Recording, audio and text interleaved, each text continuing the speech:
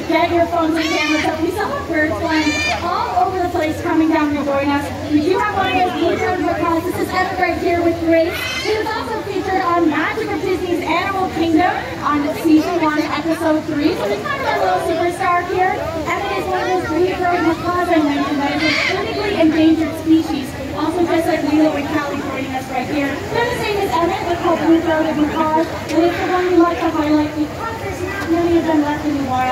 And it's why we love sharing these conservation stories with all of you and showing you all of these amazing animals that we have. But we have lots of different species here as well. We've got a military macaw, this is a little Willow and Kennedy. We've got Sheldon, he's a green macaw.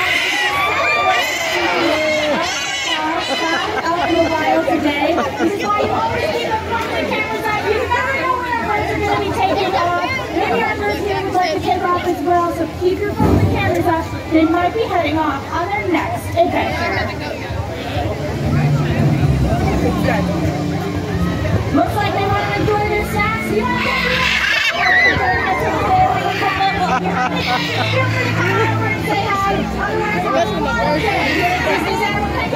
Thank you, everyone.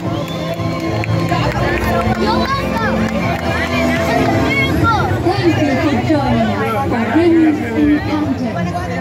Remember, together we can help ensure amazing sights like these remain in wild places for many generations to come.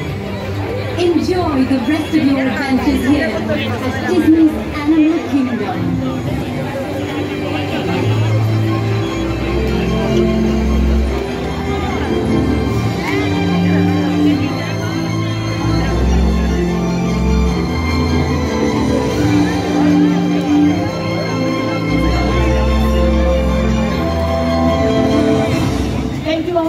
For seeing us today. We're going to be back again at 11.15 and 1.15. And if you enjoyed our show, we definitely, definitely recommend seeing our sister show, Feathered Friends in Flight. They're located at the Unnavigor Theater in Asia, and their first two shows of the day are going to be at 10.30